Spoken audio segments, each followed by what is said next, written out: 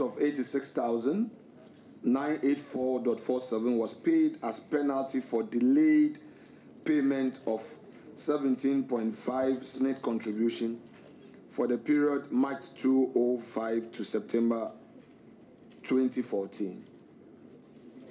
Um, we are aware that yours is, although a public institution, but your fees are premium fees. And your conditions are such that students don't have leeways. So cash shouldn't be a problem.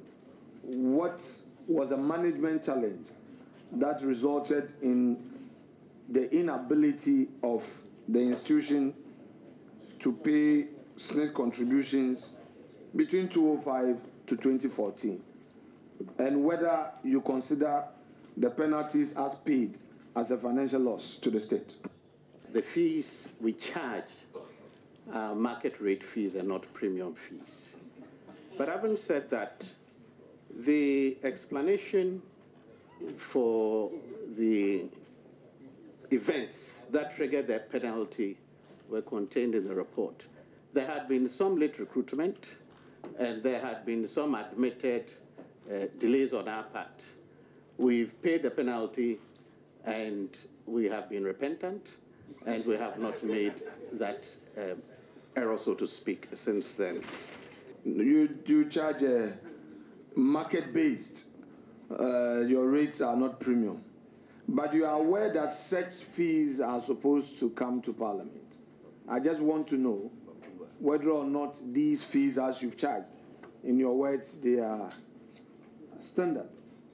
Were they ever approved by this August House? I must uh, consider I don't readily recall whether the previous fees have been passed or cleared by Parliament. I could check that and let you know. But very recently, we received directives to us, I believe to all tertiary institutions, through the National Council for Tertiary Education.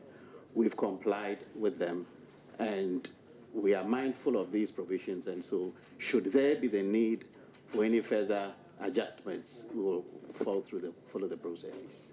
All the public universities, apart from a few, about three, have submitted and we have transmitted to the Ministry of Finance so that they can make it to special budget. The title deeds are not presently in our possession. We are taking steps to obtain the title deeds. Some discussions have taken place with the Lands Commission over the last year or two. Correspondence has been exchanged between us. A demand for payment has been made by Lands Commission. We have tendered the checks for that, and we are at the stage where the documents are being processed to be handed over to us.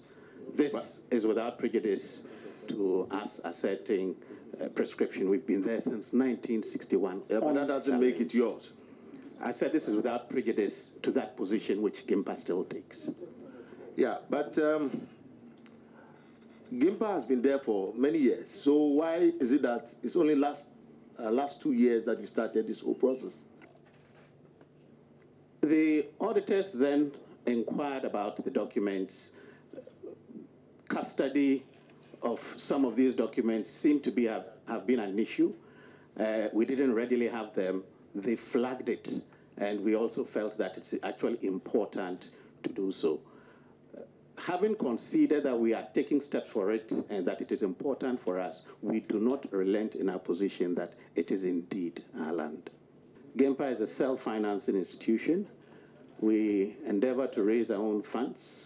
We try and run it along uh, sound business lines, and our motto and uh, catchphrase is it is a center of excellence. Your operating expenses are mainly the direct cost of operations. And here we mean facilitation, uh, cost of the bags for facilitators, and other direct costs. And the reason why it is only 15% is that it is due to our cost management strategies that we put in place. We ensure that we budget well, ensure that things are not that are not in budget are not paid for. These are the issues that raise that 7.2 million surplus. Because you recall, uh, if you look at the total income, there was an increase of about 12 million. And the 12 million is as a result of 10% increase in school fees. And that is the increase. But if you look at the total expenditure also, it is just 23% increase in total expenditure.